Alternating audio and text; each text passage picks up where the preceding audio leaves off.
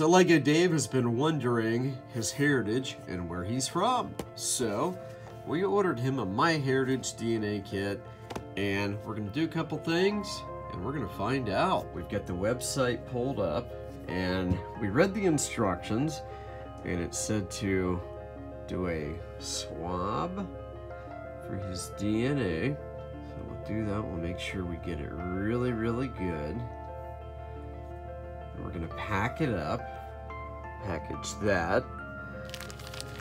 All right, got them all sealed up here. Package this stuff up and send it out.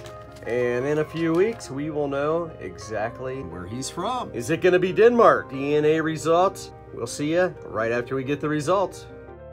Four to six weeks later.